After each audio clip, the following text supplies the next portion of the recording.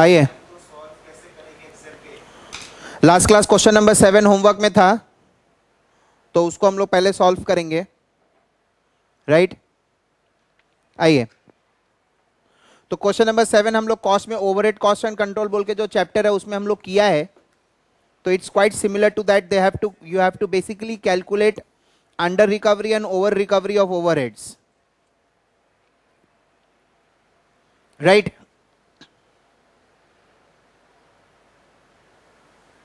homework question घर में तो पढ़ा ही होगा। क्यों, सुमित? नहीं पढ़ के आया? चलो ठीक है। Lambodar limited, normal production volume में पचास हज़ार unit. Fixed overhead are estimated at five lakh. तो ओवरहेड एब्जॉर्प्शन रेट क्या आएगा? पाँच लाख डिवाइडेड बाई पचास हज़ार दैट इज़ दस रुपया पर यूनिट तो अपने को treatment of fixed overhead under AS two बोला है। अच्छा। एक्चुअल प्रोडक्शन है बयालीस हज़ार। तो एवरेज आया दस करके। तो फोर्टी टू थाउज़ेंड जितना प्रोडक्शन होगा, हर यूनिट में दस दस रुपए ओवरहेड डालेंगे। तो इससे मेरा ओवरहेड रिकवर्ड आ जाएगा। Now actual minus overhead recovered will give me under recovery oblique over recovery but याद रखना AS2 में ओवर रिकवरी नहीं कैलकुलेट किया जाता। राइट? तो अगर हमारा actual production is more than normal normal capacity if our actual production is more than normal capacity then overhead absorption rate will be calculated on the basis of actual production तो पहले हम लोग situation A करेंगे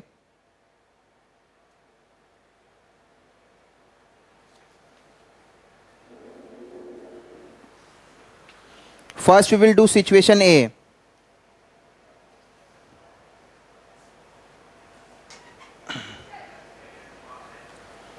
Situation A में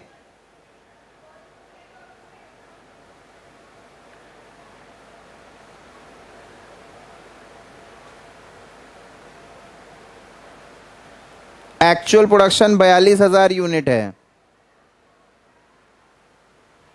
Actual production is 42000 units right तो production overhead इसको absorption rate भी बोलते हैं अपने कॉस्टिंग लैंग्वेज में। रिकवरी रेट भी बोलते हैं।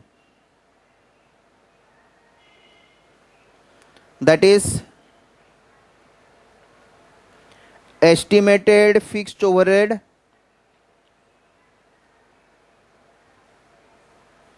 by normal capacity तो पाँच लाख बाई पचास हज़ार यूनिट तो आगे हमारा दस रुपया पर यूनिट। तो ये हमारा स्टेप वन था। Step two.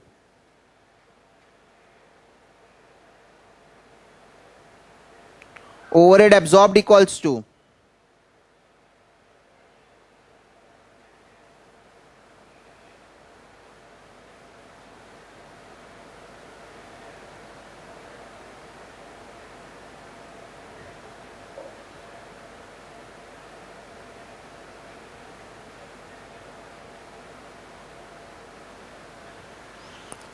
तो दस रुपया के रेट के हिसाब से हम हर प्रोडक्ट में दस दस रुपये ओवर डाल रहे तो उस हिसाब से मेरा हर कस्टमर से मैं दस दस रुपये रिकवर कर ले रहा हूँ।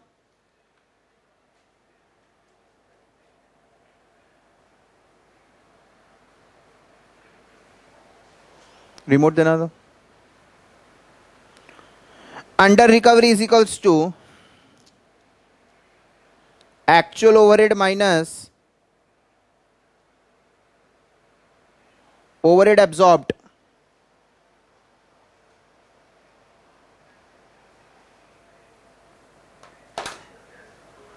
right so that is like कुछ नहीं बोला तो जो एस्टिमेटेड था वही एक्चुअल होगा हमारा।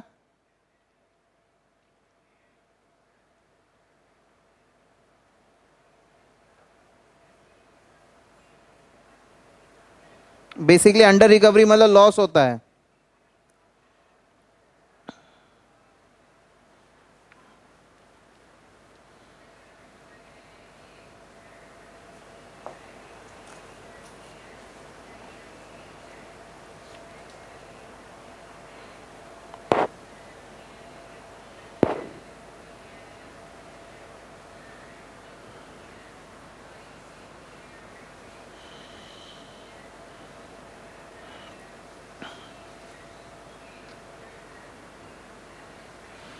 इज़ दैट फाइन एवरीवन तो हमारा एवरेज रेट आया, इस एवरेज के हिसाब से जितना प्रोडक्शन होगा, उतना ओवरहेड विल बी रिकवर्ड मतलब उतना हम कॉस्ट ऑफ़ प्रोडक्शन में डालेंगे। तो जितना आप कॉस्ट ऑफ़ प्रोडक्शन में डालते हैं, वो रिकवर हो जाता है। Difference is your under recovery right now situation B situation B में एक्चुअल प्रोडक्शन है।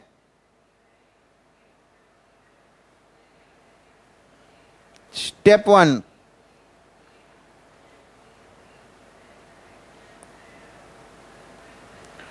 तो यहाँ पे भी estimated fixed overhead by normal capacity लेंगे।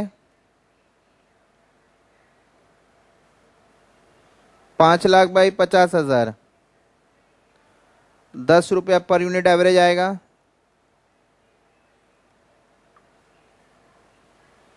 ओवरहेड एब्जॉर्ब्ड दस रुपये एवरेज और पचास हज़ार ये एक्चुअल प्रोडक्शन है। तो पूरा पाँच लाख रिकवरी हो गया। Step two under recovery is equals to incurred पाँच लाख एब्जॉर्ब्ड भी पाँच lakh.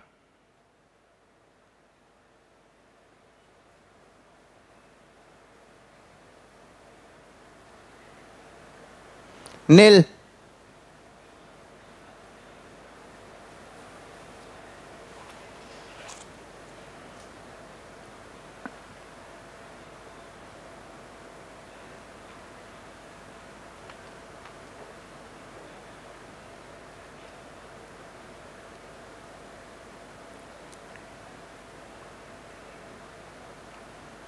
Is that fine?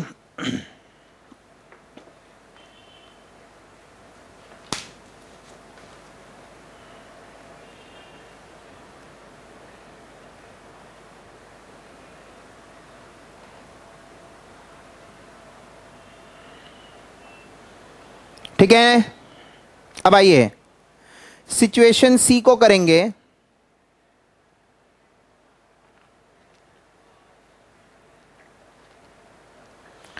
Actual production आएगा आपका। साठ हज़ार दिया हुआ है। ना अगर आज भी अगर आप एवरेज पचास हज़ार के कॉस्टिंग में अपने क्या करेंगे? नॉर्मल कैपेसिटी के बेसिस पे ही एवरेज आता है। तो इन दैट केस क्या होगा? हमारे को ओवर रिकवरी आ जाएगा। ओवर रिकवरी मतलब आप खर्चा ज़्यादा रिकवर कर लिए। तो इन दैट केस आपका जो क्लोजिंग स्टॉक होगा that will be valued at a cost which is actually not the cost अगर आप ध्यान से देखेंगे, आज अपन को एवरेज निकालना चाहिए था। अच्छा अकाउंट्स में closing stock beginning of the year नहीं आता एंड ऑफ़ द ईयर आता है। तो आपको सिचुएशन मालूम होगा कि normal capacity actual production normal से ज़्यादा है कि कम है। अगर एक्चुअल प्रोडक्शन कम है तो नॉर्मल कैपेसिटी के बेसिस पे आप एवरेज निकालो। खर्चा बढ़ा नहीं सकते आप cost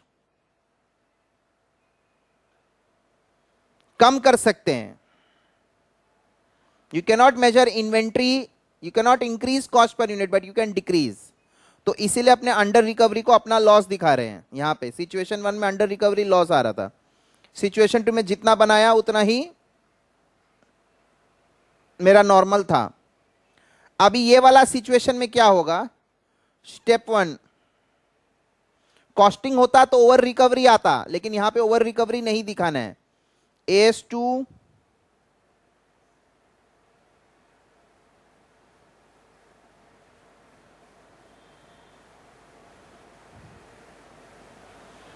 does not allow to recover over recovery of cost तो इसीलिए अपने जब प्रोडक्शन ओवरहेड का रिकवरी रेट आएगा।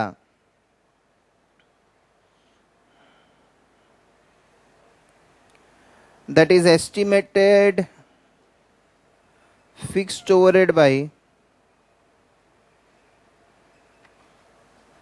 actual production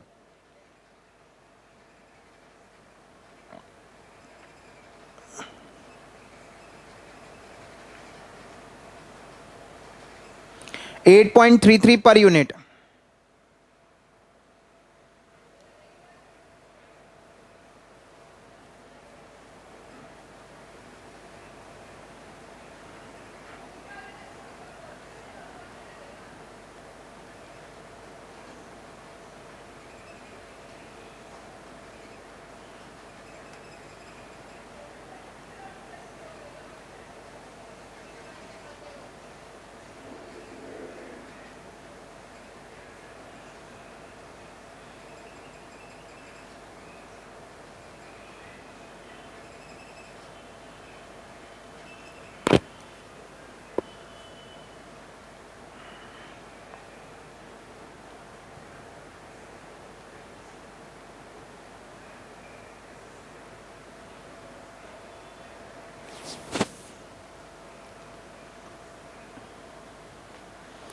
एक्चुअल में हमारा खर्चा 8.33 है। एवरेज देखेंगे तो। तो बहुत लोग क्या करता है, अगर आप यहाँ पे नॉर्मल लेंगे तो कॉस्ट पर यूनिट 10 आ जाएगा बट एक्चुअल में तो आपका 8.33 है। तो ए एस टू सेस की inventory should not be measured above of cost इसीलिए अपने अपने ये चीज़ क्यों कर रहे हैं? Why are we doing this we are doing this for the purpose of calculating cost of inventory costing में अपने जो करते that is for the purpose of calculating selling price and that we do it at the beginning of the year तो beginning of the year में अपने को नहीं पता रहेगा कि हमारा प्रोडक्शन ज़्यादा होने वाला है कि कम।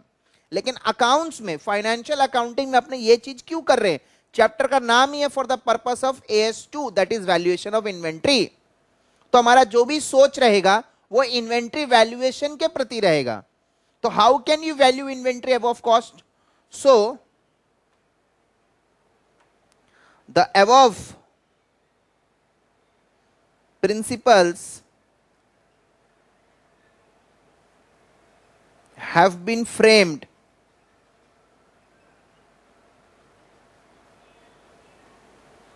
Just to ensure that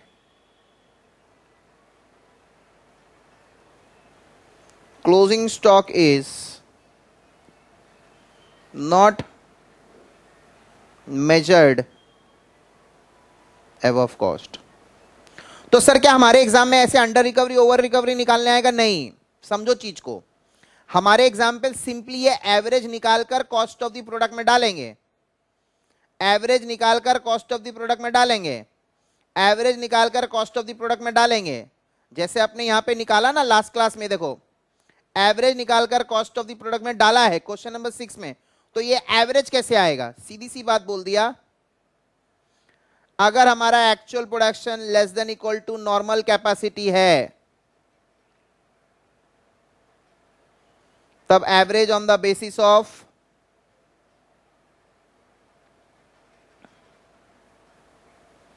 normal capacity और यदि एक्चुअल प्रोडक्शन ज़्यादा है normal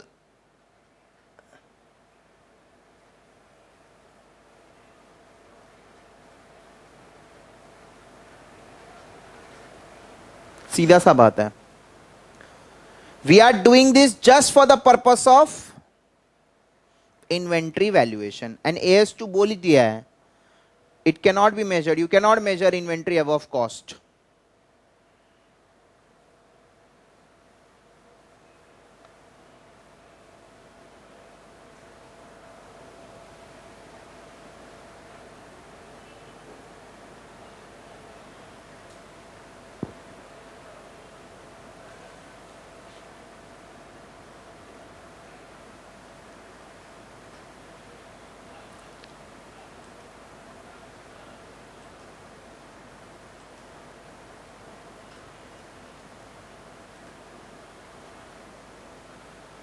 is that fine everyone कोई भी चीज़ कर रहे हो तो उसको समझ के करो। Sir cost of the product में ओवरहेड का एवरेज लेना है, ठीक है? अगर एक्चुअल प्रोडक्शन कम है, जैसे कॉस्टिंग में करते थे, वैसे कर दिया। इसका मतलब कॉस्ट ऑफ़ द प्रोडक्ट में डस डाला। यहाँ पर भी कॉस्ट ऑफ़ द प्रोडक्ट में डस डाला है। लेकिन जब एक्चुअल प्रोडक्शन ज़्यादा है तो एवरेज एक्चुअल के बेसिस पे आएगा। बिकॉज़ ये इन्वेंट्री वैल्यूएशन अपने एंड में कर रहे हैं तो एंड में अपने को पता चल जाएगा तो we have to make sure that inventory that is closing stock is not valued above cost is that fine?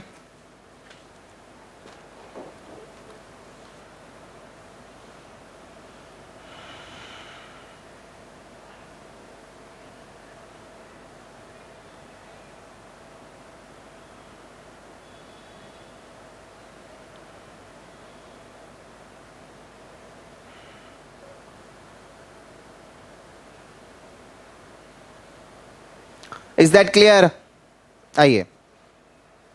So last में पॉइंट नंबर कितना था हमारा? Point number four what are the components of cost of inventory अच्छा। तो ये हो गया।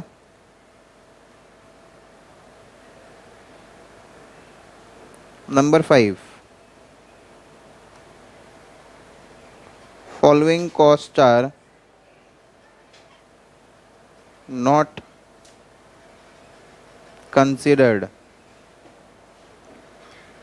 while valuing cost of inventories.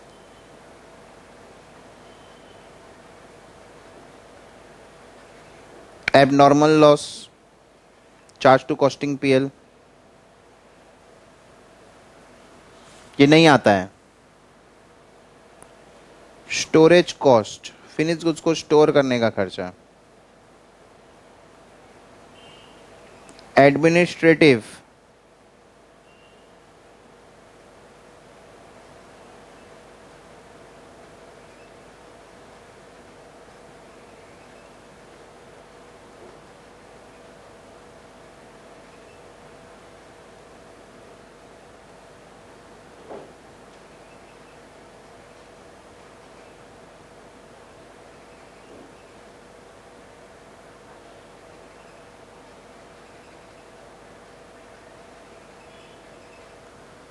Not considered ये सारा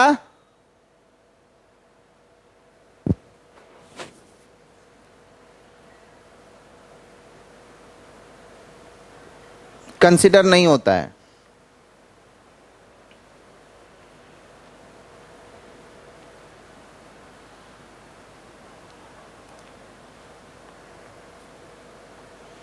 राइट right? इसको अपन कॉस्टिंग लैंग्वेज में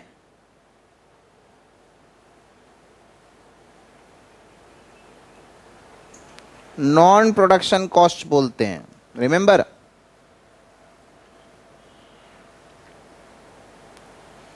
सो so, जितना भी नॉन प्रोडक्शन कॉस्ट है ये कंसिडर नहीं होगा। क्लियर है? अच्छा।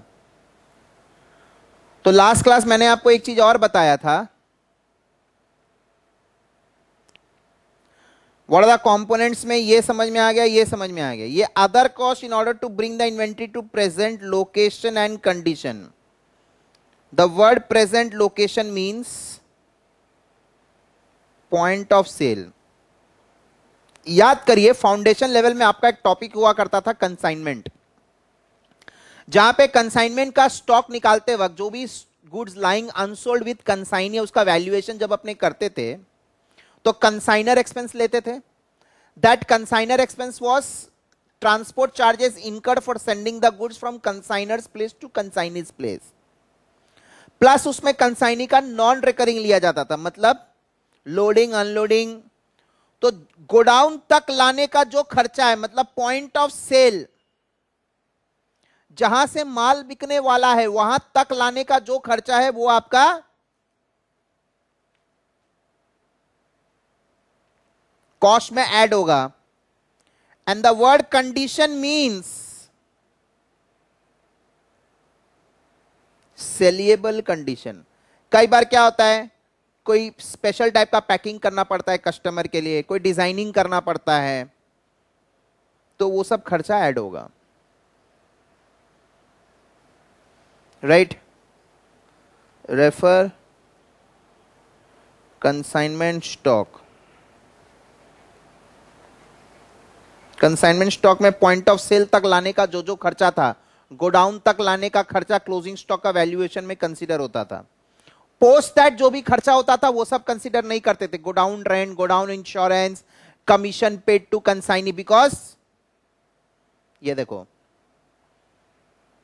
storage cost godown rent administrative staff salary commission ये सब चीज़ कंसिडर नहीं होता था।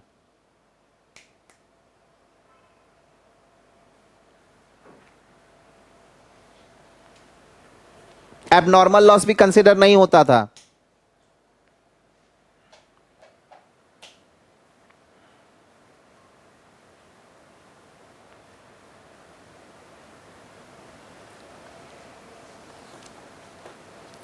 इज़ दैट फाइन आइए question number eight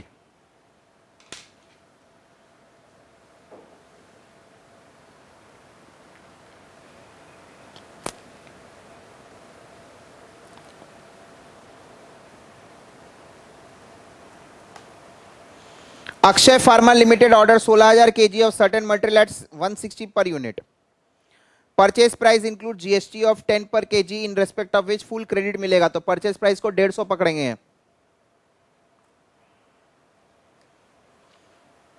freight add होगा। नॉर्मल लॉस टू परसेंट ठीक है? तो 16000 का टू परसेंट होता है 320 लेकिन मिला है पंद्रह हज़ार पाँच सौ मतलब लॉस कितना हुआ?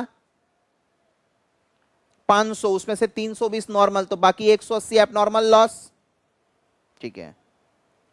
Cost of inventory under A S two and abnormal loss बोला है। आइए, सीधा सर कंसाइनमेंट स्टॉक का समय ये। आप मानिए चाहे ना मानिए, ये कंसाइनमेंट स्टॉक का समय units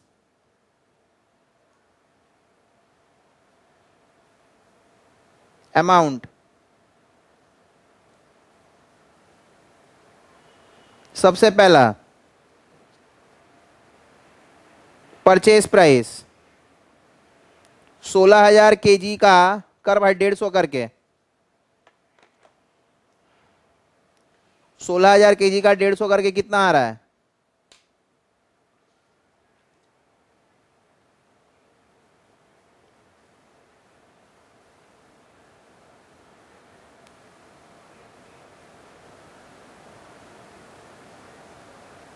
Twenty four lakh. Plus freight डाल देंगे। One four zero one six zero.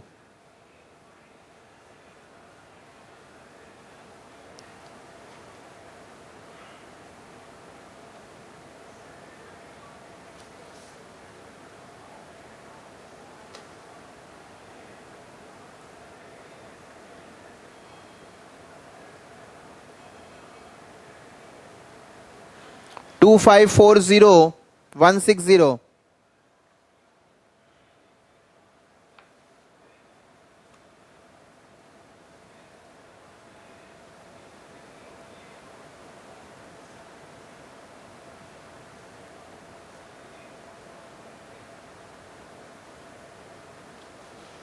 ठीक है? लेस नॉर्मल लॉस दो परसेंट मतलब तीन सौ बीस। तो आ रहा है पंद्रह हज़ार। छह सौ अस्सी का दाम है, पच्चीस लाख। चालीस हज़ार एक सौ साठ।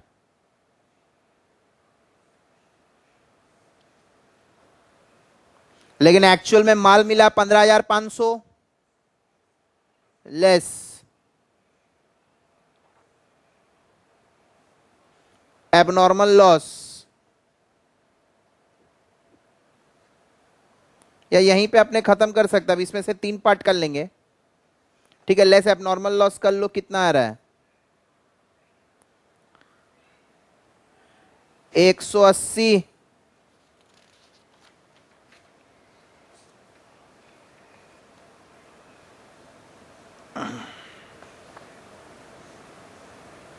काम करो, इस तरीके से कर लो।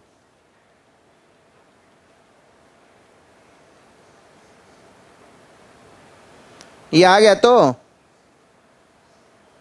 तो नॉर्मल लॉस के कारण हमारा कॉस्ट ऑफ़ अदर यूनिट्स बढ़ जाता है। तो पहले सोलह हज़ार का दाम था, पच्चीस लाख चालीस हज़ार एक सौ साठ, अब पंद्रह हज़ार छह सौ अस्सी का दाम ये है। तो कॉस्ट पर केजी कितना है? पच्चीस लाख चालीस हज़ार एक सौ साठ बाई पंद्रह हज़ार छह सौ अस्सी। कितना आ रहा है? Rupees, how much? 162 per kg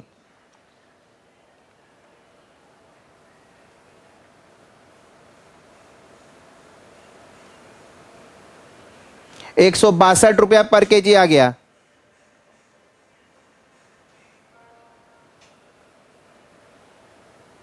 ठीक है? अब इसका तीन तो ट्रीटमेंट होगा।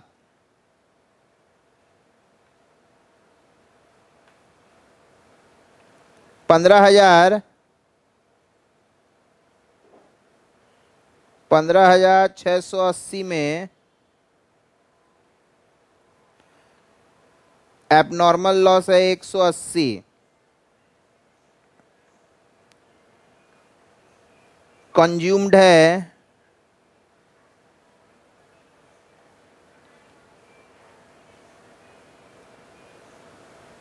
कंज्यूम्ड कितना है? बोलो। लिख दिया है क्वेश्चन में तेरह हज़ार छह सौ।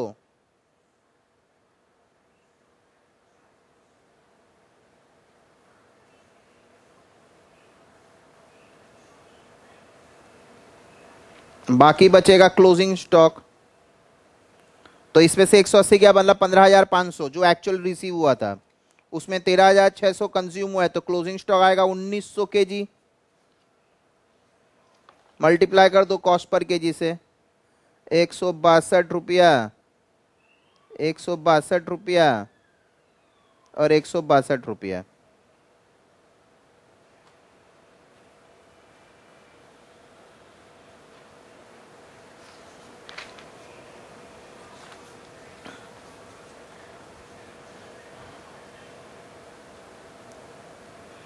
कितना? Twenty nine thousand one sixty debit to PL कितना आ रहा है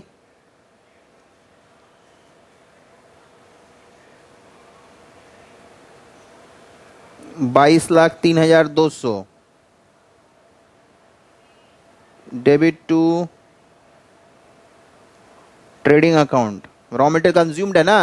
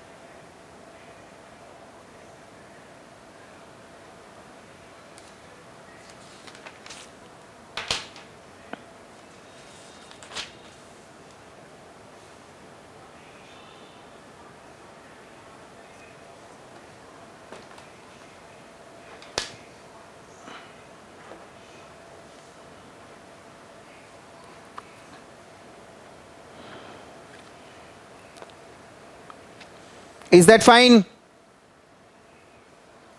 बोलो। तो पहले नॉर्मल अपने कॉस्ट पर केजी निकाल लेंगे। फिर इसका breakup loss consumed stock loss consumed stock ऐसा ही एक सिमिलर प्रॉब्लम है क्वेश्चन नंबर नाइन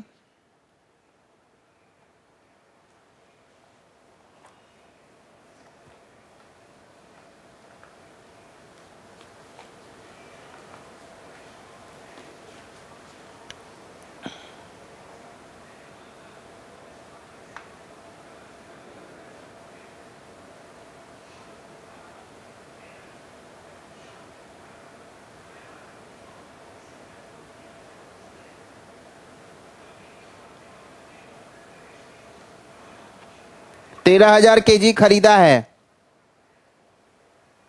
नब्बे करके जिसमें ढाई रुपया जीएसटी है, जिसका क्रेडिट मिल जाएगा तो माइनस कर देंगे। अच्छा।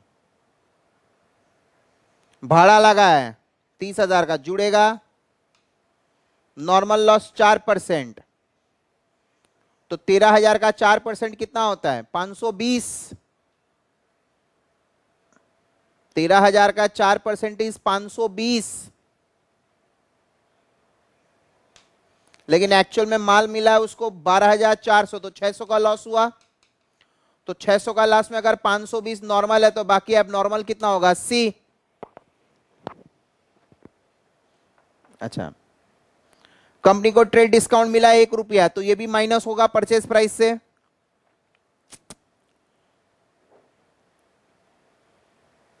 कंटेनर में डिलीवरी हुआ है केमिकल का। वो यूरेजेबल रीयूजेबल नहीं था तो उसको 500 में बेच दिया। तो ये स्क्रैप माइनस होता है मेटेरियल कॉस्ट से।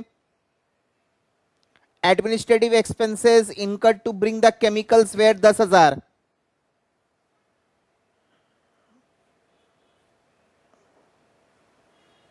ये भी other cost in order to bring the goods to present location and condition तो कहने का मतलब है, आप एक काम करिए। एट द रेट नाइन्टी है।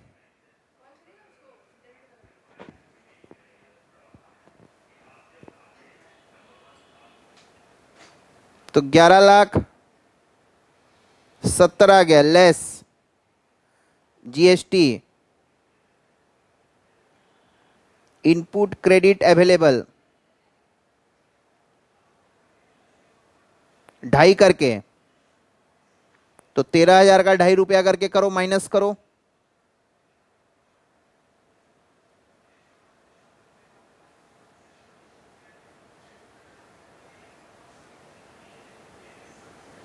लेस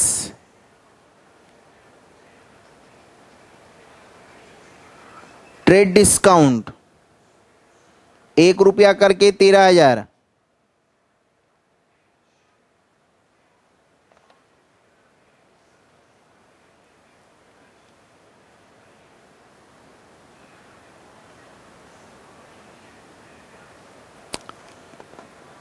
ठीक है? ध्यान से देखने वाला बात है ये, आप चाहते तो यहाँ से भी कर सकते थे। 90 माइनस ढाई माइनस एक,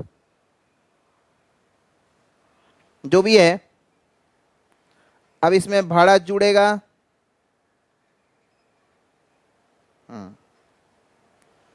Other cost to bring the inventory जुड़ेगा। Minus sale of scrap, which is container.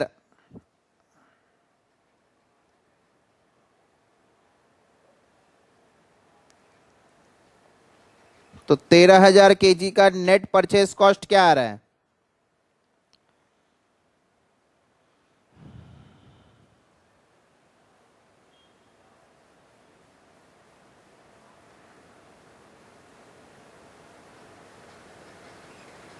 Hmm. Normal loss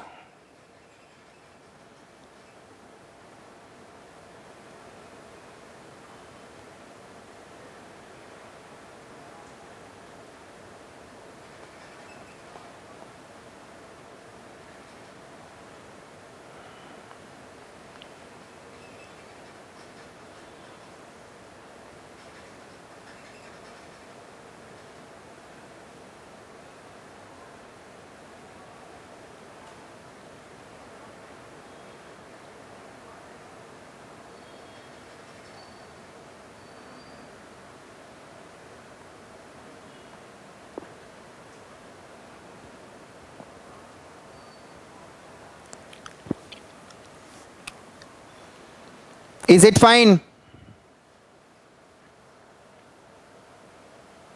हाँ हाँ परचेज से तो ट्रेड डिस्काउंट तो बुक्स में रिकॉर्ड नहीं होता है और जीएसटी का क्रेडिट मिल रहा है तो वैसे माइनस हो जाएगा। हम्म अगर जीएसटी का क्रेडिट नहीं मिलता है तो परचेज कॉस्ट में ऐड होता है। ठीक है? तुम लोगों को पीछे समझ में आ रहा है? ठीक।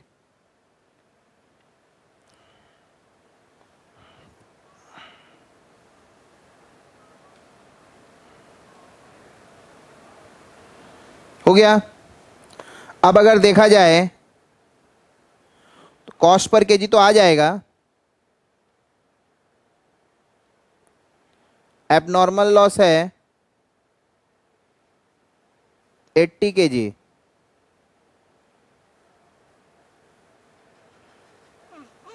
कंज्यूम्ड है दस हज़ार K G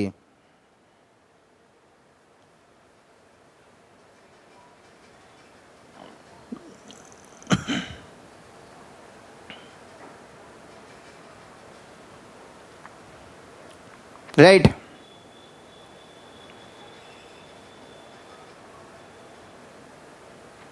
eleven lakh sixty four thousand by twelve thousand four eighty K G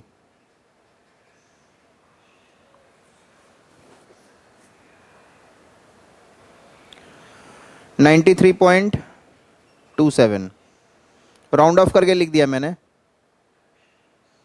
अब सबको मल्टीप्लाई कर देंगे तो वैल्यू आ जाएगा।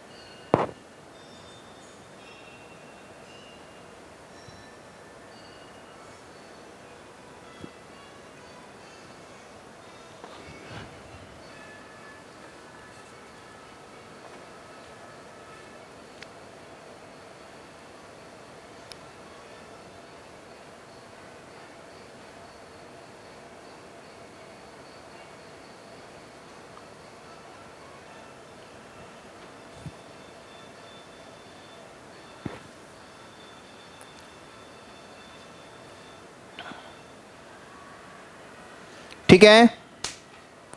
Question number ten will be आजीवन होमवर्क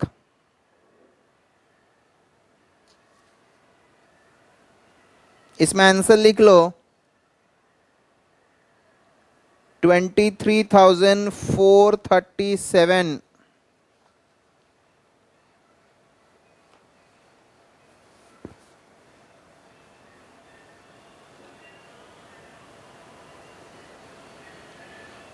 ये आपका इंस्टीट्यूट का बुक में भी और फाउंडेशन में भी ये सेम सम था।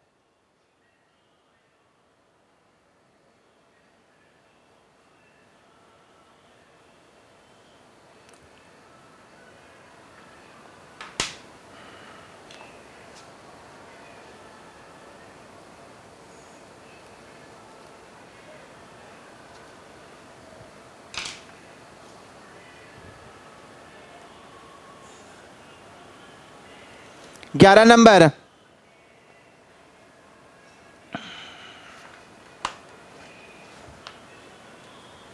ना अगर मान लो आपने लोन लेके आप प्रोडक्शन कर रहे हैं लोन लेके प्रोडक्शन कर रहे हैं, जैसे आपने बैंक को डी लिया है। मतलब करंट एसेट आपने लोन लेके फाइनेंस करवाया है। ठीक है? तो आपका इंटरेस्ट लग रहा है। तो क्या वो interest is part of cost of inventory ध्यान से देखो। कंपोनेंट में तीन चीज़ ही। है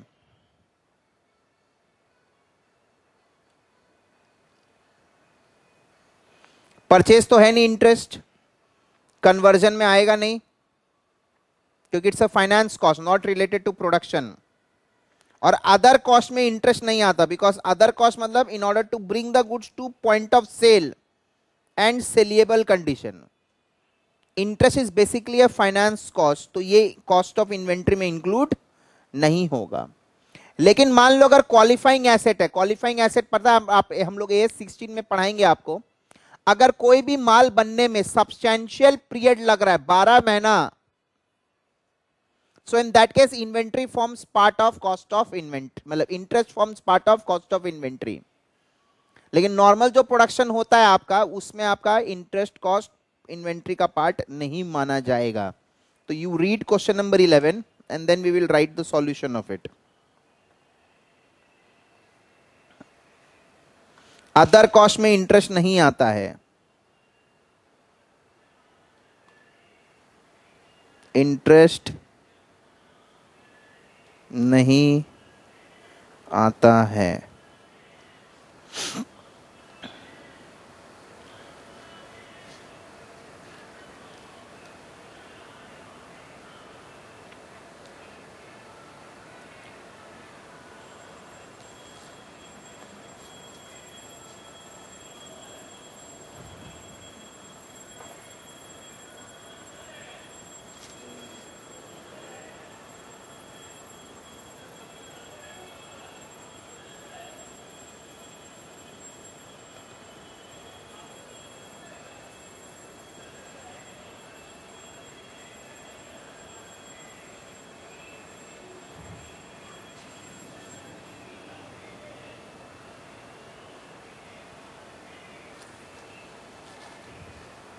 लिखेंगे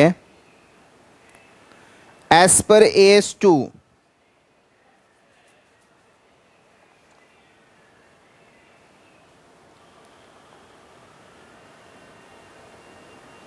interest on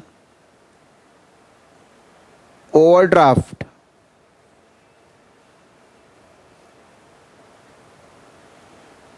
is not considered.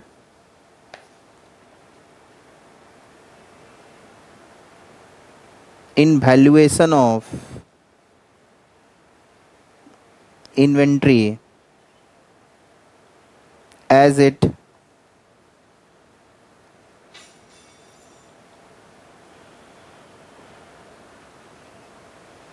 does not relate to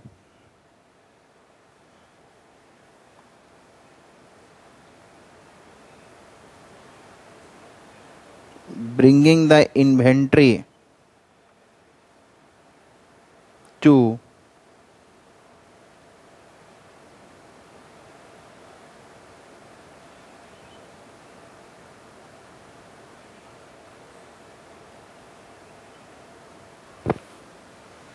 ठीक है? तो interest on overdraft is not considered in valuing in valuation of inventory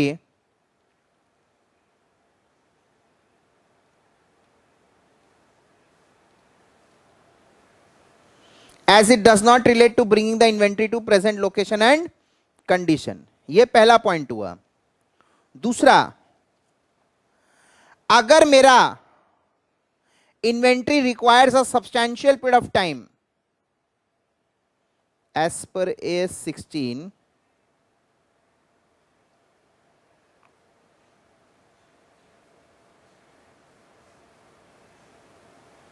inventories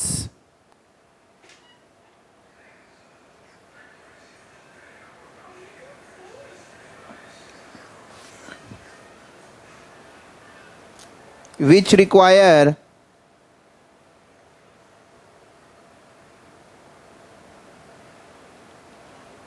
substantial period of time.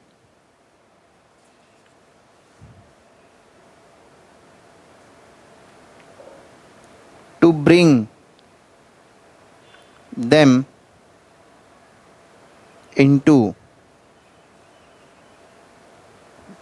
saleable condition is known as qualifying asset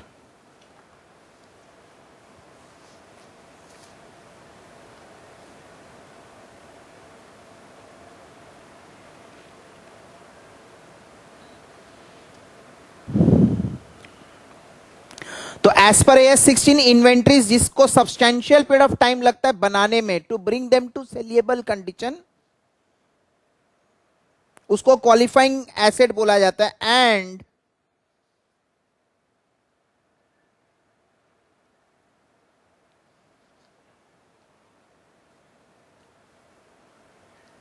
in such a case interest on loan oblique overdraft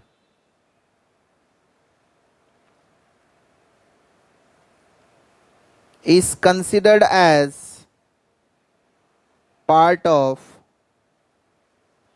cost of the asset.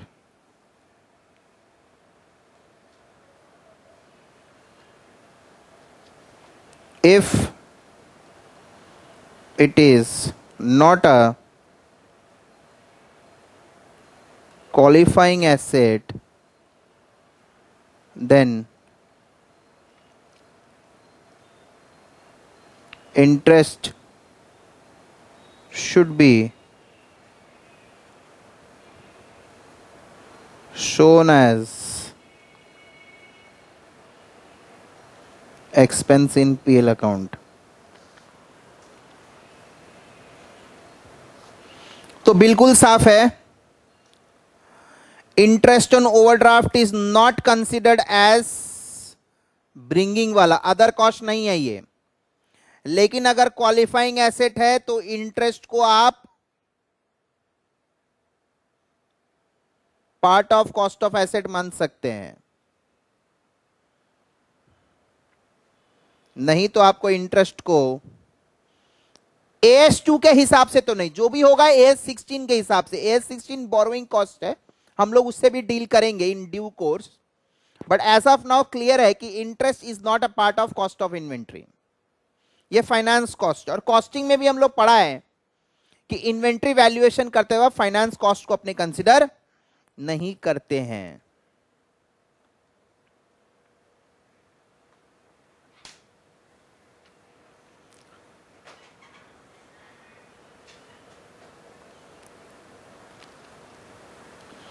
Is that fine समझ में आ रहा आप लोगों को?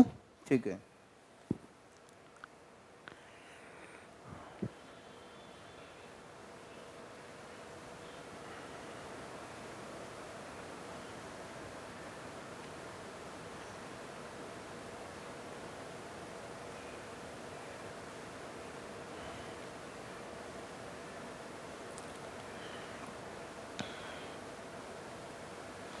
कितना number point था?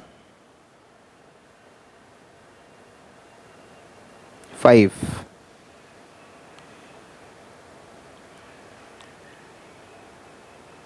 Number six.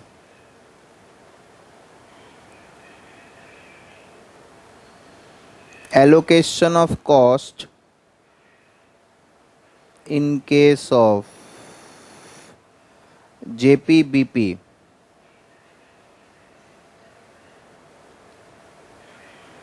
refer costing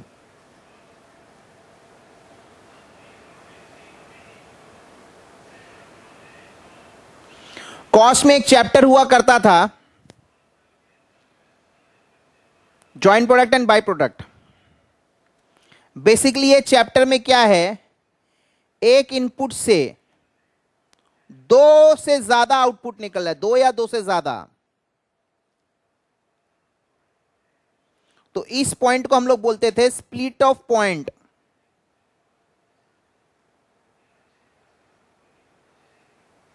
And this input becomes common input so the cost of producing A and B is common so this cost is known as joint cost how do you calculate production cost of A and B so what we do, joint cost is divided among joint products on the basis of sellable value at split of point method remember एक input से simultaneously same point of time में दो दो output निकल रहा है। So the cost of producing A and B is this input cost तो इस इनपुट कॉस्ट को अपने ज्वाइंट कॉस्ट बोलते हैं। तो ज्वाइंट कॉस्ट को ज्वाइंट प्रोडक्ट में डिवाइड करेंगे on the basis of saleable value at split off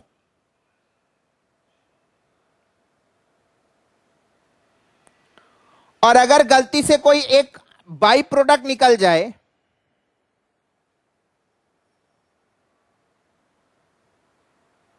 तो इस बाई प्रोडक्ट का पहले रीसेल वैल्यू निकाला जाता है, जो रीस by product means unintentional production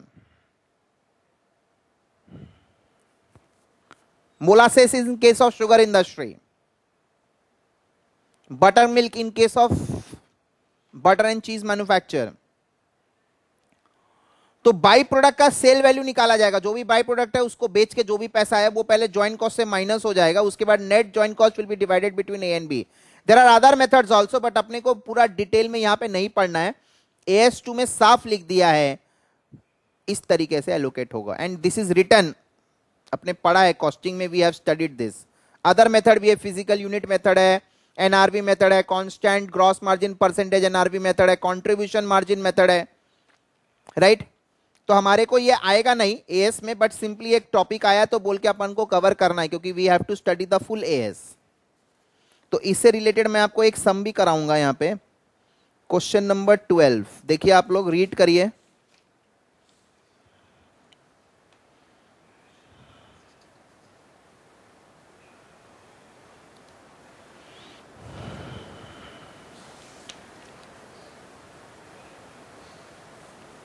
Just give a reading and try to do it.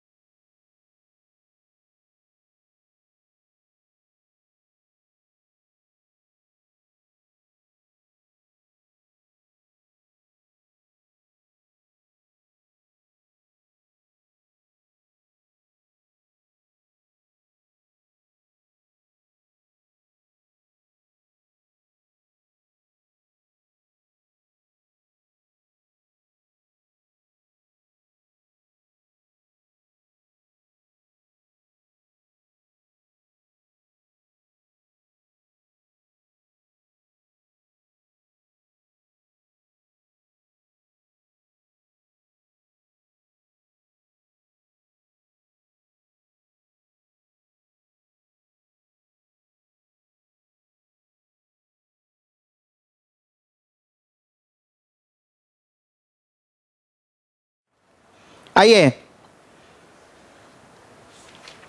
क्या बोला है? V limited produces four products L M N P from a joint process incurring a cost of five seventy one two hundred now ये जो चार product है, ये चारों same point of time में एमर्ज हो जैसे क्रूड का जब अपने प्रोसेसिंग करते हैं क्रूड का kerosene petrol lubricating oil gas सब एक साथ प्रोसेस होता है साइमल्टेनियसली तो पहले क्वांटिटी प्रोड्यूस्ड और उसका सेल प्राइस दिया है और फिर क्लोजिंग स्टॉक दे दिया। तो अभी क्लोजिंग स्टॉक से मतलब नहीं है। पहले अपन क्या करेंगे?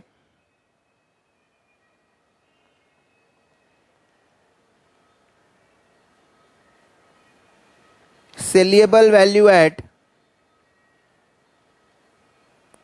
split off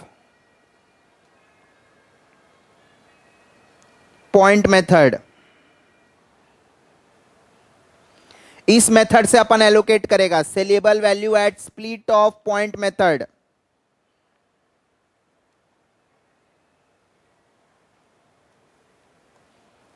product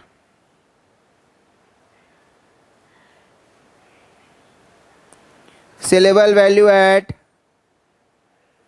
split off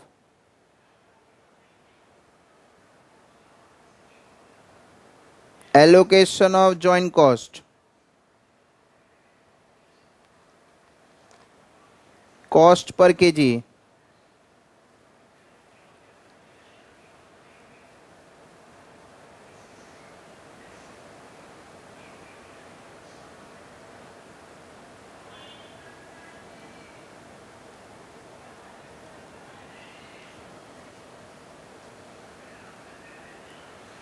दस हज़ार प्रोडक्शन हुआ है इसका सेलेबल वैल्यू है एक लाख तीस हज़ार। इसका बारह हज़ार प्रोडक्शन हुआ है, सत्रह के हिसाब से। एकदम इजी है बेटा टाइम वेस्ट नहीं करेंगे हम लोग।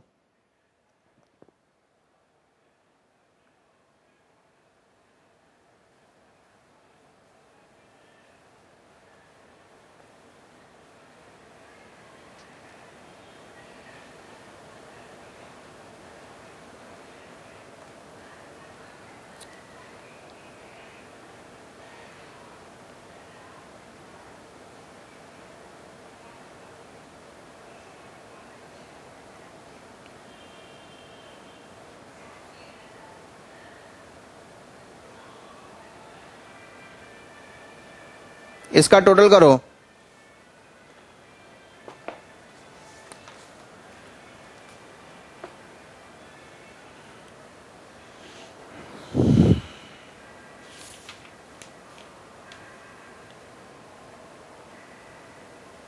Four seventy six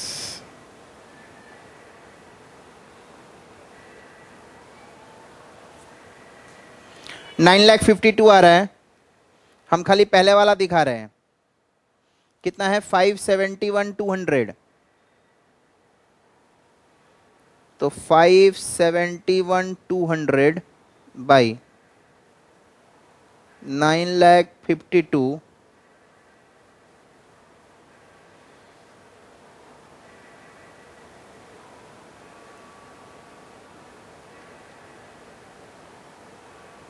five seven sorry एक सेकंड वन लैख थर्टी इसका है. टोटल है nine lakh fifty two into five seventy one two hundred कितना आ रहा है? कैलकुलेट करके बताओ. ऐसे ही तो करते हैं ना, इसी रेशियो में अपने ज्वाइंट कॉस्ट को डिवाइड कर देंगे।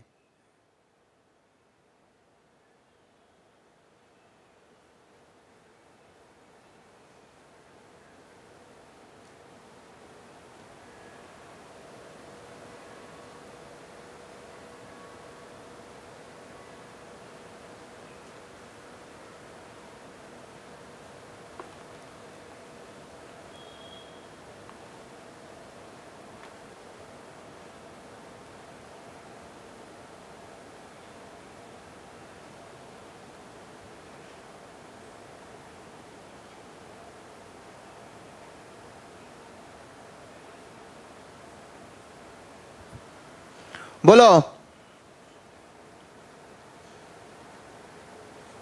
Seventy eight thousand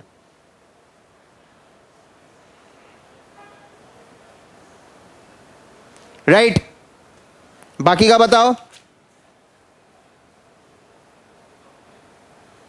one twenty two कितना? फोर हंड्रेड ठीक है? कितना? One fifty nine, six hundred.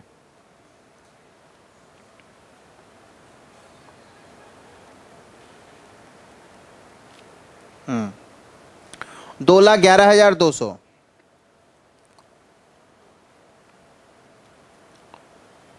अब जितना जितना प्रोडक्शन हुआ, उसे डिवाइड कर दीजिए। This by this this by this this by this this by this तो कॉस्ट पर केजी कितना आ रहा है?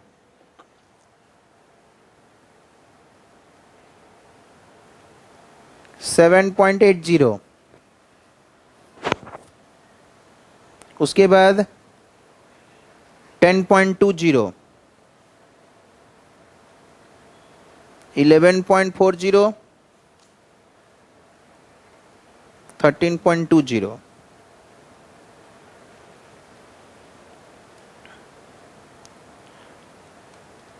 अभी पहला का क्लोजिंग स्टॉक कितना है? टोटल कॉस्ट एलोकेट हो गया, आप डिवाइड बाय यूनिट्स कर दो तो कॉस्ट पर केजी आ जाएगा। 1625 1625 into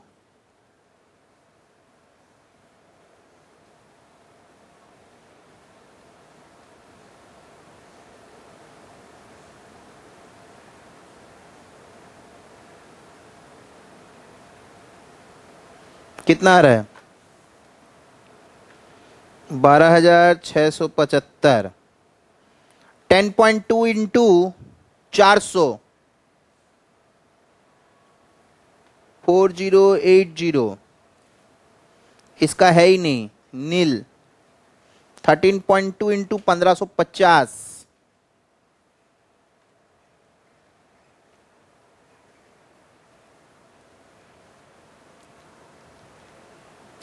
I hope everyone is clear with this.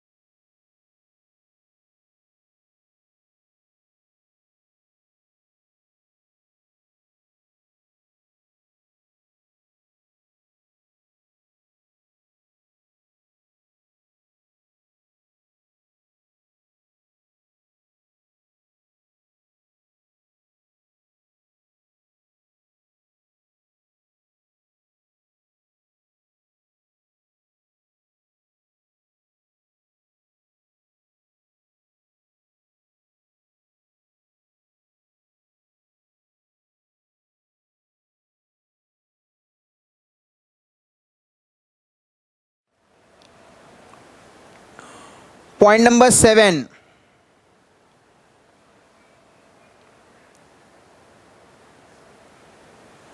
Methods of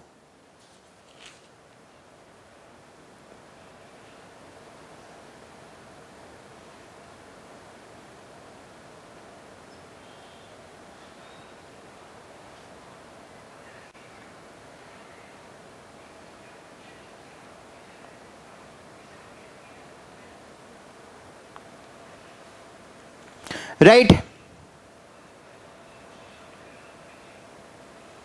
अगर मैं आपको अकाउंटिंग पॉलिसी का डेफिनेशन बताऊँ,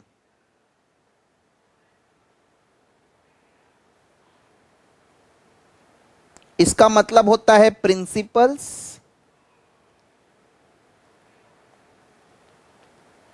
दूसरा होता है methods of applying those principles. तो प्रिंसिपल क्या है?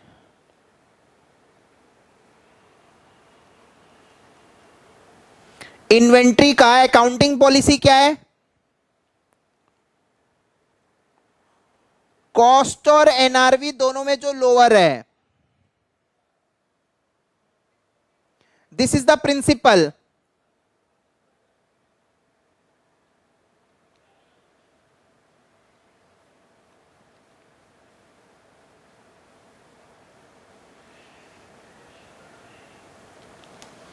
inventory valuation का प्रिंसिपल क्या है? सबसे पहले ये समझो।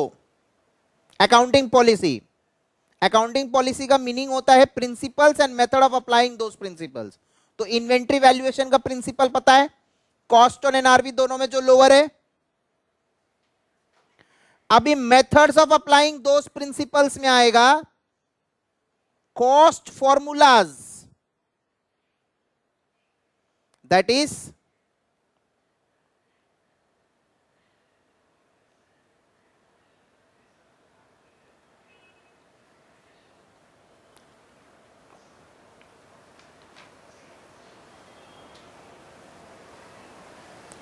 items not ordinarily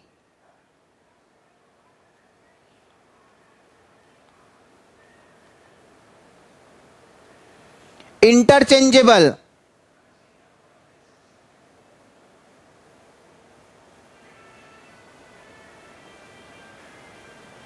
तो अपने फॉलो करते हैं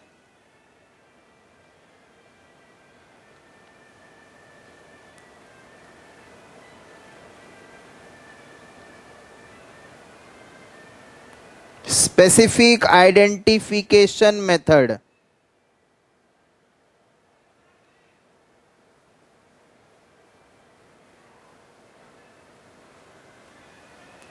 मतलब मैं आपको समझाता हूँ। आइटम्स ऑर्डिनरीली इंटरचेंजेबल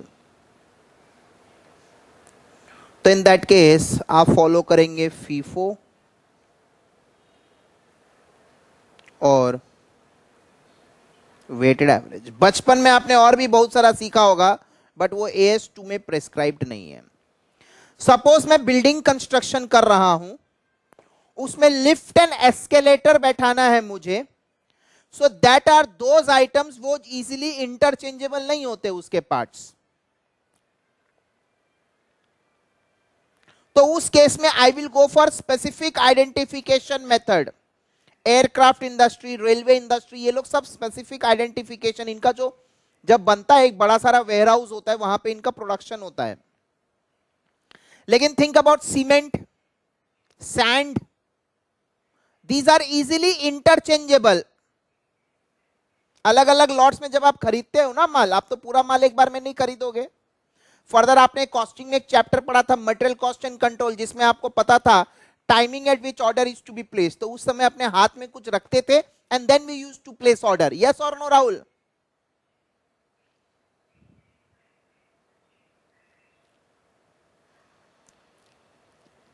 तो जो आइटम्स इजीली इंटरचेंजेबल नहीं है, उसमें specific identification you can identify ये लॉट से ये माल बचा हुआ है। लेकिन जब आप ऑर्डिनरी इंटरचेंजेबल होता है, तब आपको अजम्पन लेना पड़ता है। इधर यू गो फॉर फीफो और you go for weighted average तो अगर फॉलिंग प्राइसेस रहेगा that gives the best matching तो यू गो फॉर फीफो और अगर फ्लक्चुएटिंग प्राइस रहा you go for weighted average price अगर बहुत ज़्यादा फ्लक्चुएट करता है अप एंड डाउन रहता है तो आपको वेटेड एवरेज में जाना पड़ेगा। और राइजिंग प्राइसेस में the best method is LIFO but वो प्रिस्क्राइब्ड नहीं है। दीज आर बेसिकली अजम्पन्स क्या है ये हमारा? अजम्पन्स है। समझ में आ रहा है? तो प्रिंसिपल्स मालूम था फॉर्मूला देख लिया। Right right? पूरा साल का माल अगर एक ही बार में खरीद लिए हो तो प्रॉब्लम नहीं है, क्योंकि आपने अलग अलग लॉट में पढ़ा अपने मटेरियल कॉस्ट एंड कंट्रोल में देखा है। Sum total of ordering cost and carrying cost को मिनिमम करने में जो ईओक्यू e में आता था that was the best ordering quantity साल में 20 ऑर्डर 50 ऑर्डर तो वो जो आप ऑर्डर करते थे तो ज़रूरी नहीं हर बार आप जब खरीदेंगे तो हर बार का दाम सेम रहेगा। तो आपको ये मालूम होना चाहिए कि क्लोजिंग स्टॉक एग्जैक्टली कहाँ से बचा है। तो वो फाइंड आउट करना बहुत डिफ़िकल्ट है, क्योंकि हमारे गोडाउन में इतना माल था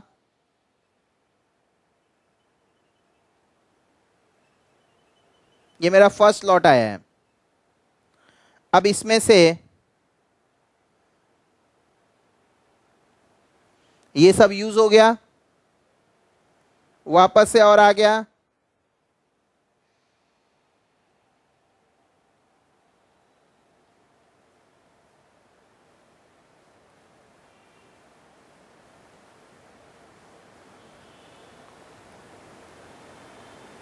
तो ये बचा हुआ है। अब बताइए पहले वाला परचेज से है कि दूसरा वाला परचेज से है?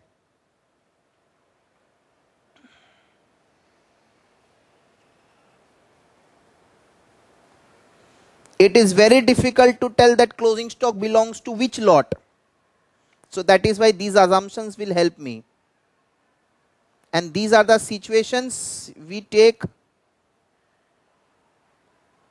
different types of assumptions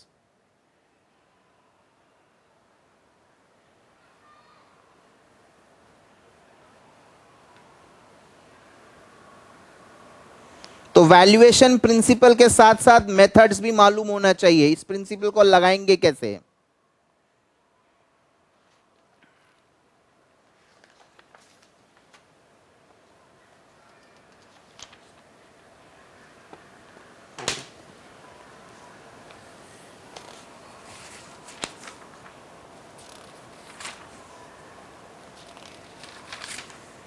Question number thirteen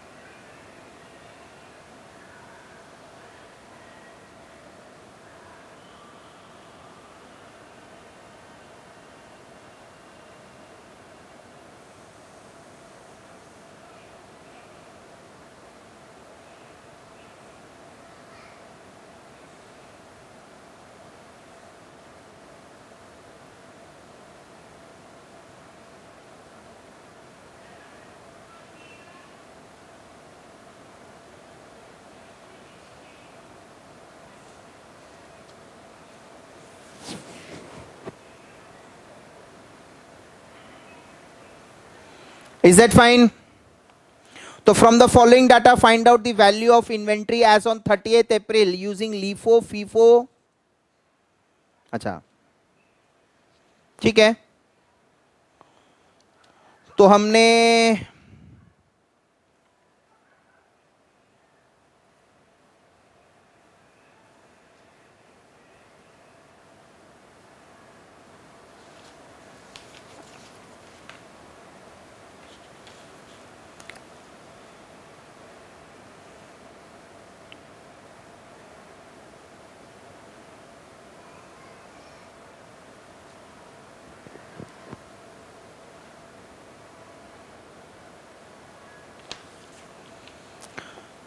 first April को खरीदा है, दस यूनिट, ठीक है रेडी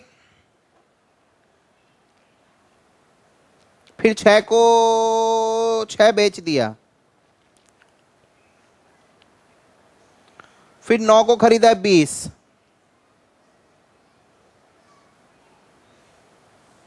और फिर 18 को 14 बेच दिया।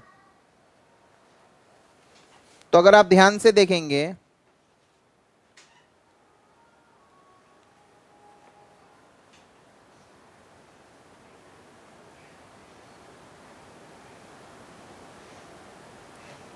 फ़र्स्ट अप्रैल को खरीदा है।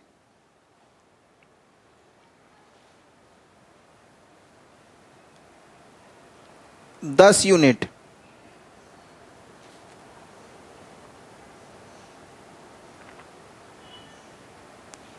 और नाइन्थ अप्रैल को खरीदा है।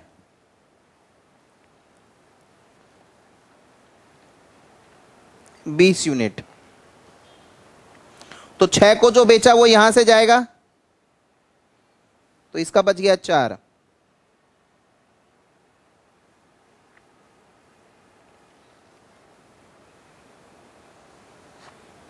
पहले फीफो कर रहे हैं first in first out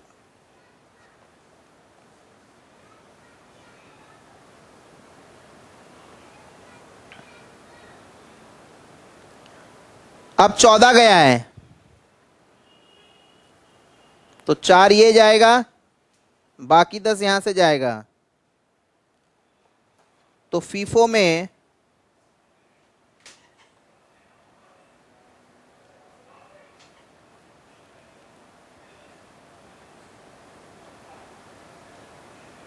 value of closing stock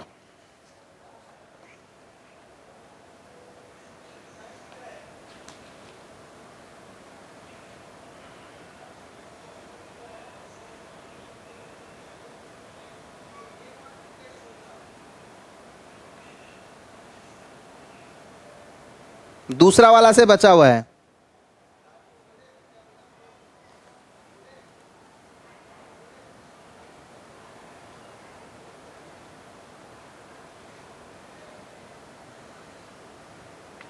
right right.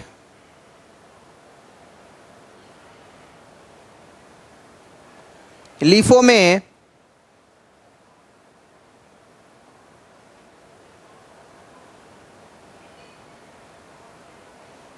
First April को दस हुआ, छह चला गया, इसमें से चार बचा है। फिर प्लस।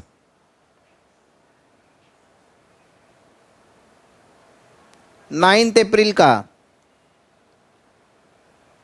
बीस। अब अठारह अप्रैल को चौदह बचा है तो नीचे से जाएगा। छह अप्रैल को तो एक ही था ना सिक्स अप्रैल में खाली एक ही माल था। तो उसी में से चला गया।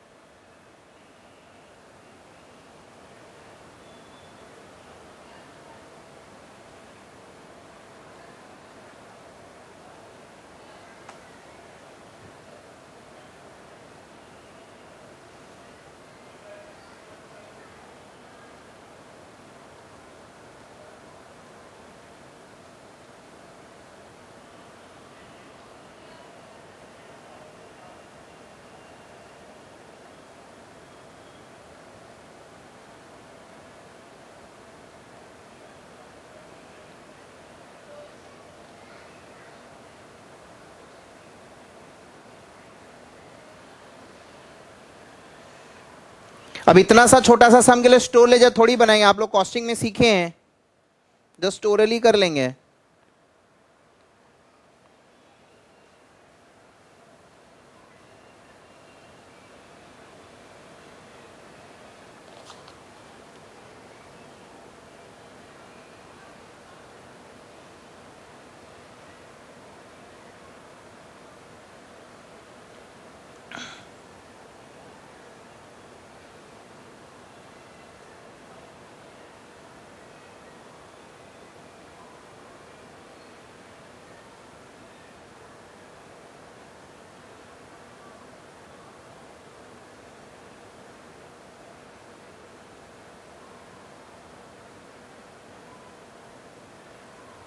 ये बस खाली मेन पार्ट है।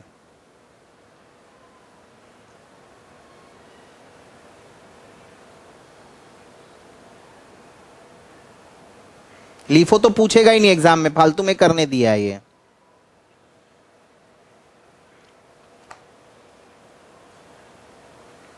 ठीक है?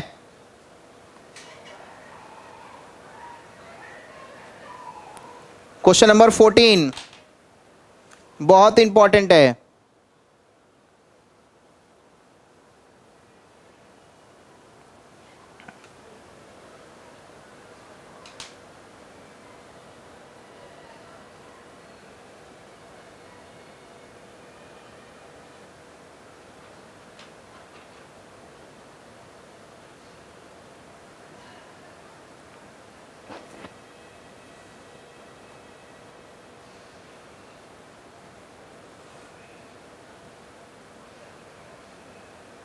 आइए। फोर्टीन में क्या बोल रहा है? M limited manufactures a product at two different location A and B वो अपना क्लोजिंग स्टॉक को कंसिस्टेंटली इस तरीके से वैल्यू कर रहा है। रॉ मेटेरियल एट कॉस्ट ठीक है? चलता है रॉ मेटेरियल तो कॉस्ट पे वैल्यू होता है फीफो फॉलो किया है। लोकेशन बी में एट कॉस्ट लेकिन लीफो फॉलो किया है, लेकिन LIFO is not prescribed as per A S two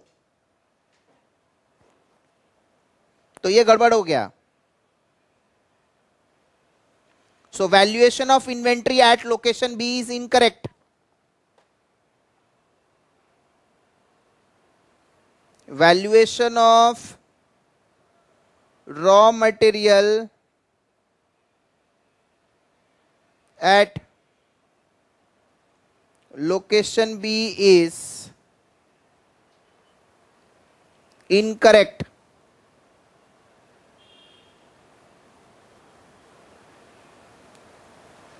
is per as per AS2 LIFO method is not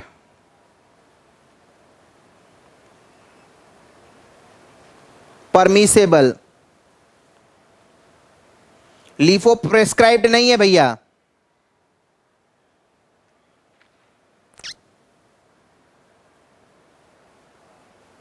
Following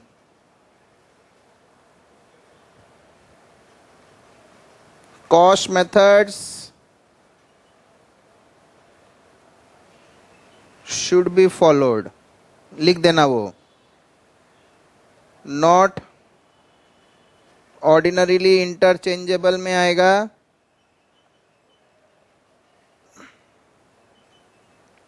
specific और ऑर्डिनरीली इंटरचेंजेबल में आएगा। फीफो दूसरा वेटेड एवरेज प्रॉपर आंसर लिखेंगे। उसको बता देंगे, भैया, इस तरीके से करो। आपने जो तरीका किया वो गलत है।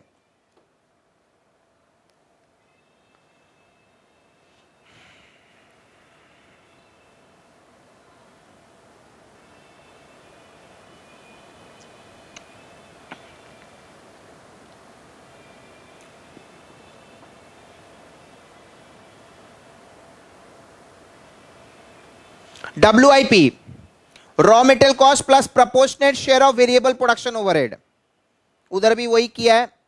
फिनिश गुड्स में raw material at cost and plus variable factory overhead ना यहाँ पे सब कुछ सही है। ओवरहेड में लिखा है वेजेस आ चुका है, क्योंकि ये लोग कॉम्प्रिहेंसिव एमएचआर यूज़ कर रहा है। जो लोग कॉस्टिंग पढ़ा है, उन लोग को पता है। ओवरहेड इंक्लूड्स डायरेक्ट वेजेस मतलब कॉम्प्रिहेंसिव तो जब आप जॉब कॉस्ट शीट बनाते हैं तो आप लेबर को अलग से कंसिडर नहीं करते हैं। तो ओवर में ये लोग डायरेक्ट वेजेस लिया है fuel and spare consumed spare consumed is indirect metal that is variable overhead ठीक है? लेकिन इन लोगों को फिक्स प्रोडक्शन ओवर का भी शेयर लेना चाहिए। Right right? तो valuation of W I P and finish goods at both the location is incorrect they should have considered fixed overhead right so number three में लिख देंगे for W I P and F G valuation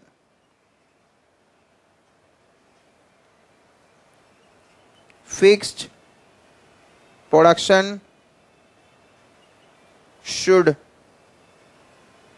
also be included at predetermined rate और ये rate दो प्रकार से आता है।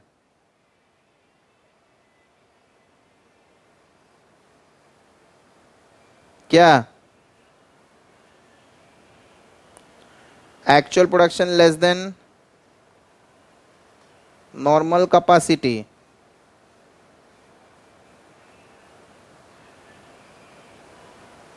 तो overhead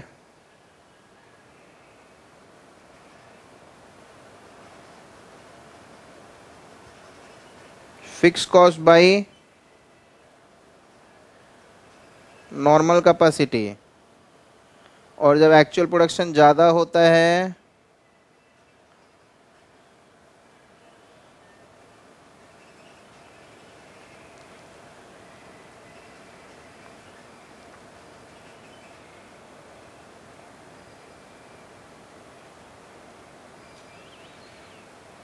Are you getting my point?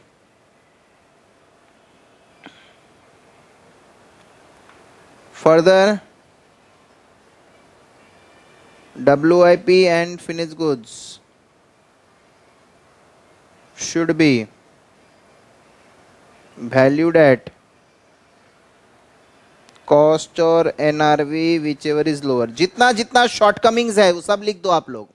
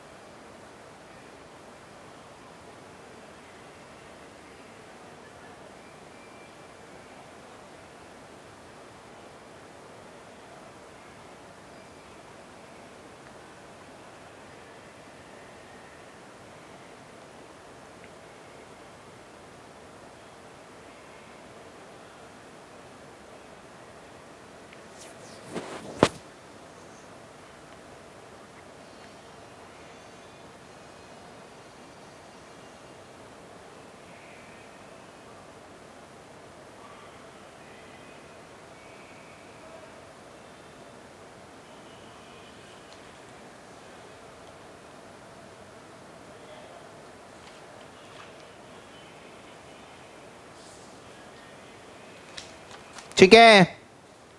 Question number fifteen foundation में था ये आपके इन्वेंट्री वैल्यूएशन वाले चैप्टर में. जस्ट क्विकली देख लो.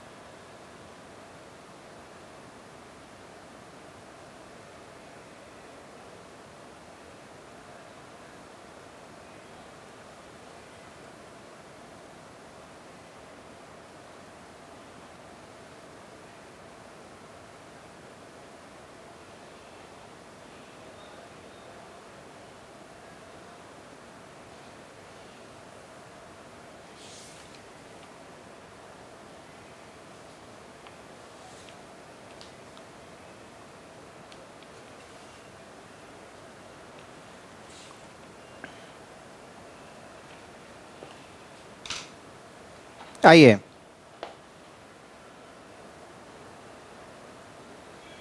ठीक है। क्वेश्चन पंद्रह। बोला H P is a leading distributor of petrol a daily inventory of petrol in hand is taken when the books are closed at the end of the each month ठीक है।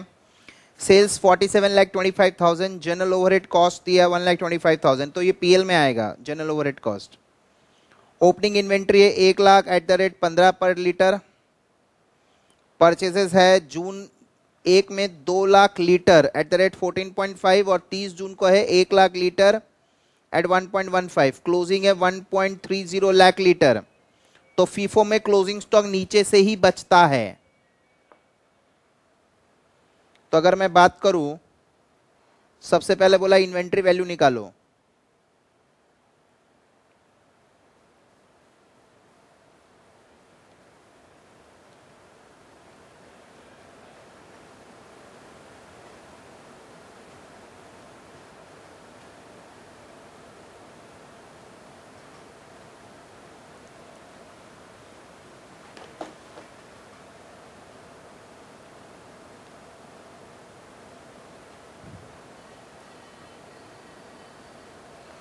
Value of inventory as on 30th june.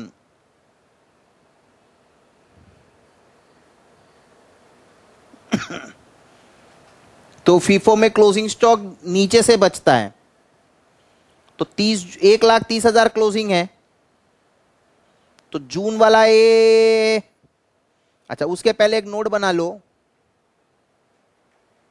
Just simply opening plus purchase minus closing is equals to sold कई बार क्या होता है closing unit नहीं देगा तो अपने को ये वर्किंग नोट बना लेना चाहिए। ओपनिंग में कितना है? एक लाख लीटर। परचेज है दो लाख और एक लाख। तीन लाख लीटर। क्लोजिंग है हमारा। एक लाख। तीस हज़ार लीटर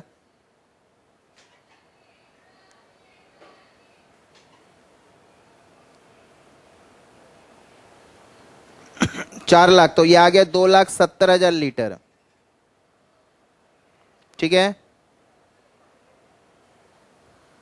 तो ये चीज़ कर लेंगे, क्योंकि इसमें से दो तीन दो तीन, चार चीज़ है ना तो तीन देगा, एक नहीं देगा, जैसे सोल्ड नहीं दिया हुआ है।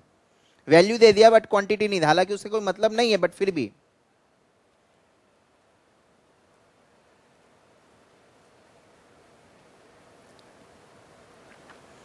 तो नीचे का बचा हुआ एक लाख और तीस हज़ार ऊपर वाले से बचा है।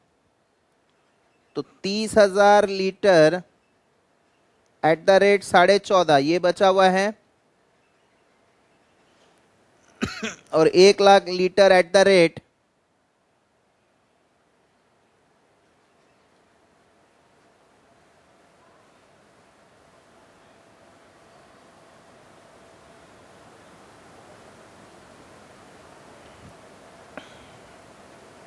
कितना आ रहा है? बयालीस, four, twenty seven, five hundred. हम्म। और यार है पंद्रह लाख, पंद्रह हज़ार।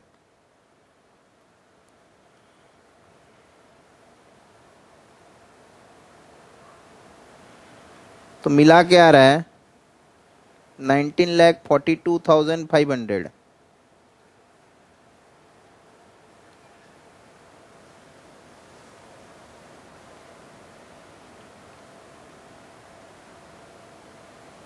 Part two में क्या बोला है?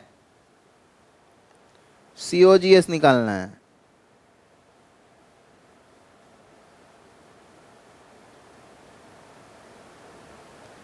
ओपनिंग स्टॉक है एक लाख लीटर इनटू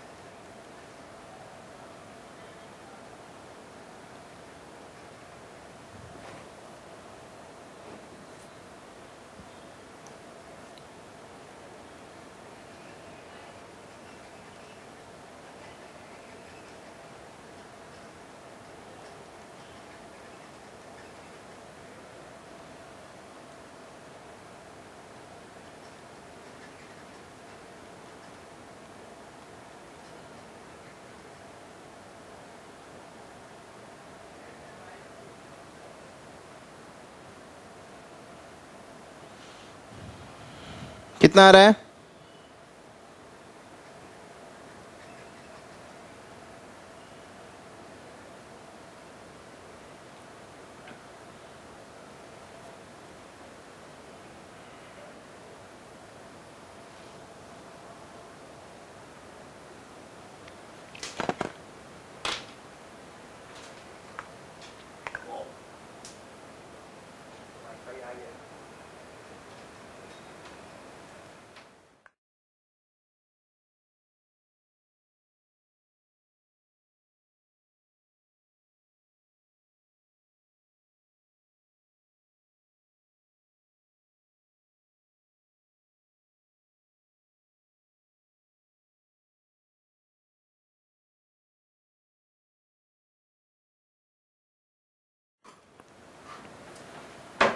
ठीक है, ऐसे ही तो आता है COGS opening plus purchase minus closing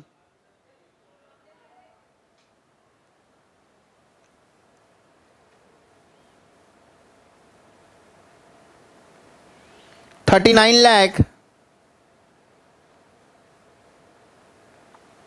Twenty two thousand five hundred.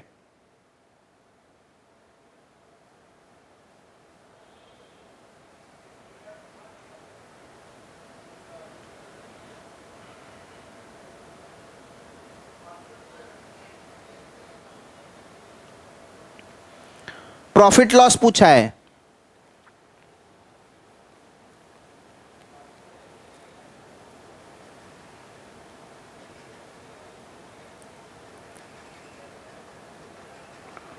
Forty seven lakh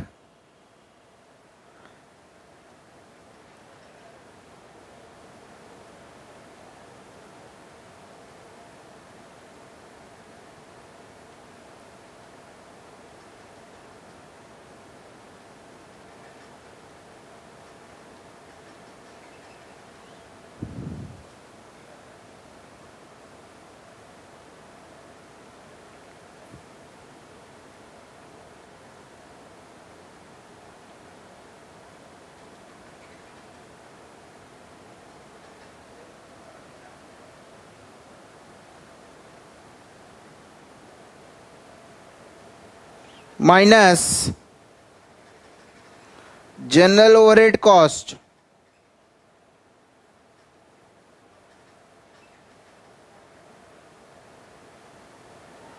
six seventy seven five hundred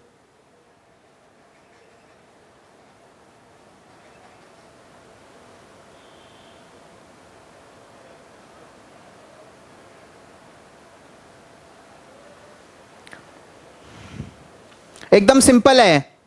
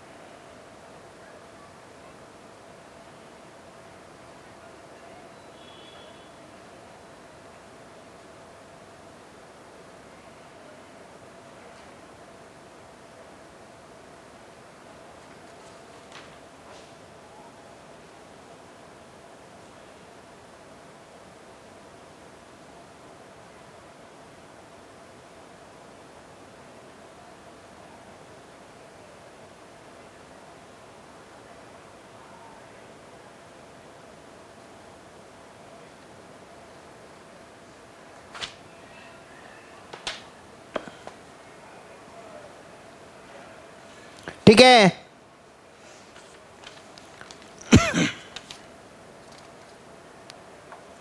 question सोलह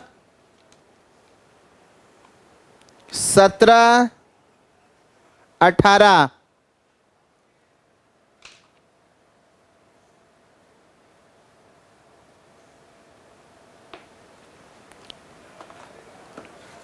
फटाफट करेंगे।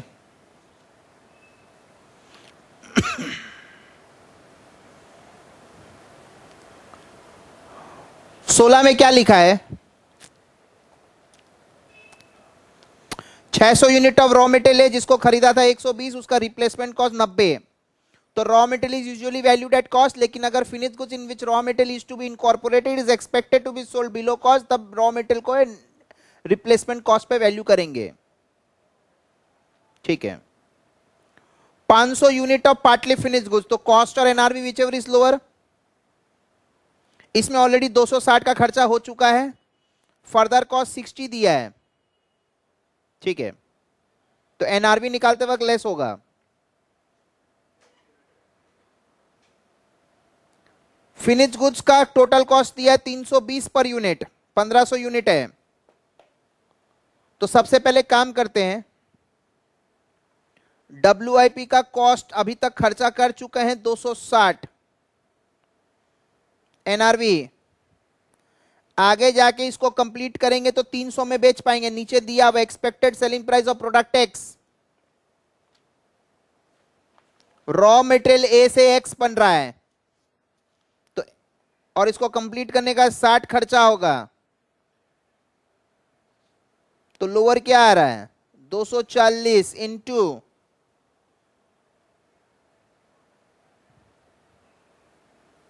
तो डब्ल्यू आई पी का आ गया एक लाख बीस। फिनिश गुड्स का कॉस्ट दिया हुआ है 320 अच्छा ये ऑलरेडी कंप्लीट है। 300 minus zero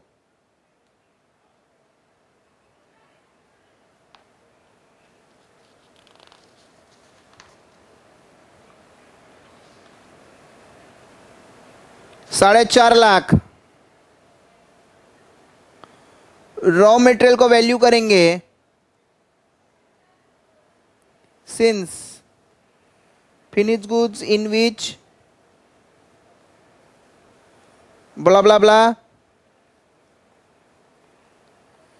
is expected to be sold below cost therefore raw material is valued at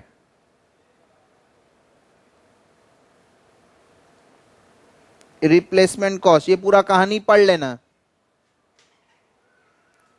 तो नब्बे इंटू छ सौ, चौवन हज़ार।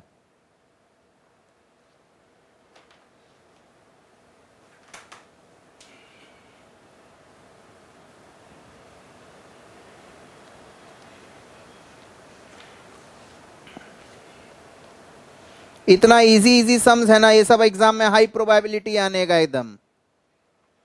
पूरा नॉलेज पे है एकदम। नॉलेज नहीं है तो कुछ नहीं है। समझ में आ रहा है आप लोगों को?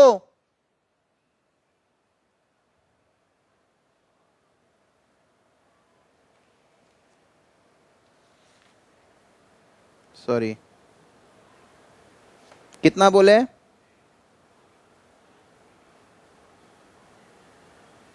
साढ़े चार लाख, ठीक है।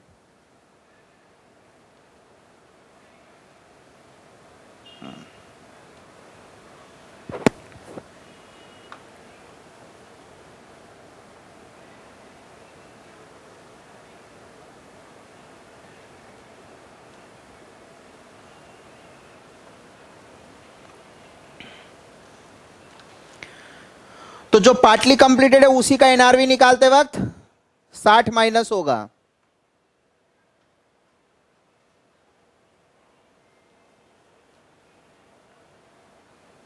लोअर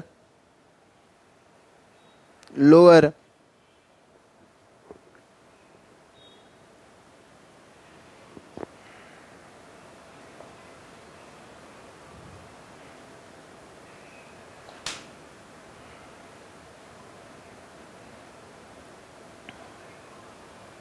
ये डब्ल्यू आई पी का आ गया वैल्यूएशन फिनिश गुड्स का. फिनिश गुड्स में तो बेटा माइनस नहीं होगा ना ऑलरेडी कंप्लीटेड है. आप अगर फिनिश गुड्स बोल रहे मतलब क्या? समझो, तुम्हारे पास एक स्टॉक पड़ा है जो ऑलरेडी कंप्लीटेड है. मैं गलत बोल रहा हूँ? You have a stock which is already completed तो उसमें तो फर्दर कॉस्ट होगा ही नहीं. ये पार्टली कंप्लीटेड है, इसमें फर्दर कॉस्ट सिक्सटी बोला है। यू हैव टू अंडरस्टैंड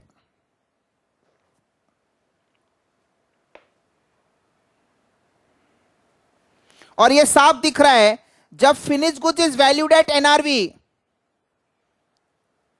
इसका मतलब साफ़ समझ में आ रहा है कि रॉ मेटेरियल को रिप्लेसमेंट कॉस्ट क्योंकि finish goods is expected to be sold below cost आज अगर फिनिश गुड्स बिलो कॉस्ट बिकेगा, आप बताइए मेरे को। अगर फिनिश गुड्स बिलो कॉस्ट बिक रहा, साफ़ दिख रहा है क्योंकि finish goods is valued at NRV. तो raw material is to be valued at replacement cost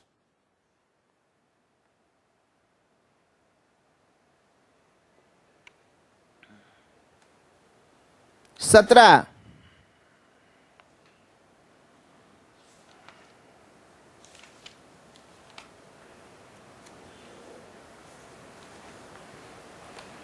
partly completed है।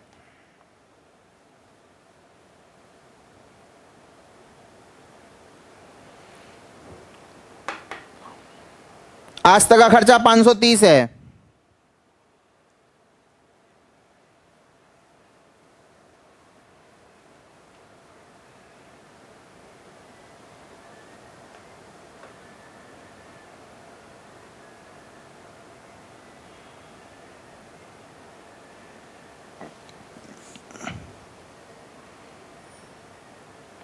आगे जाके साढ़े सात सौ में बिकेगा, तीन सौ दस का खर्चा होगा।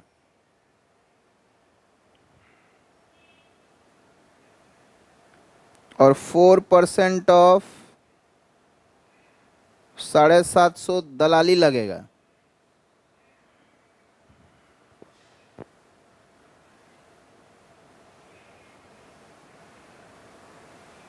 तो it should be valued at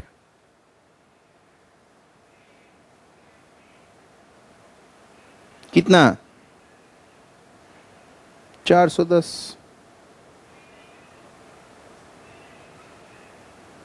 Value of W I P lower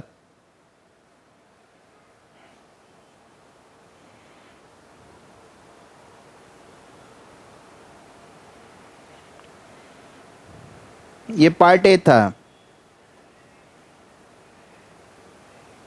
It is not worth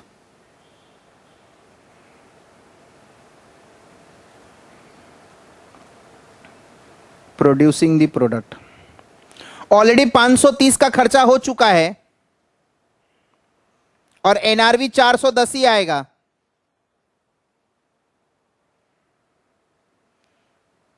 तो और और फ़ायदा क्या है इसको?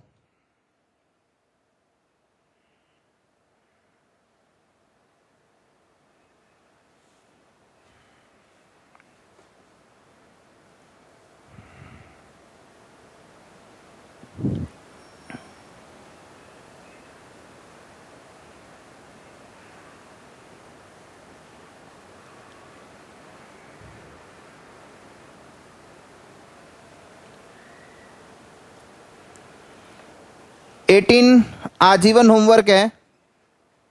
पूरा कहानी बोला है कि फिनिश गुड जिसमें फिनिश रॉ मेटेरियल जिससे वो फिनिश गुड्स बनने वाला मतलब फिनिश गुड जिससे वो रॉ मेटेरियल बनने वाला है।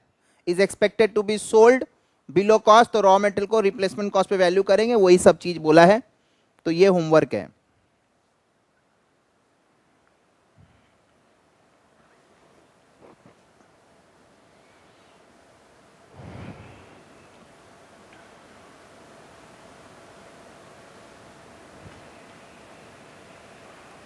Is that fine?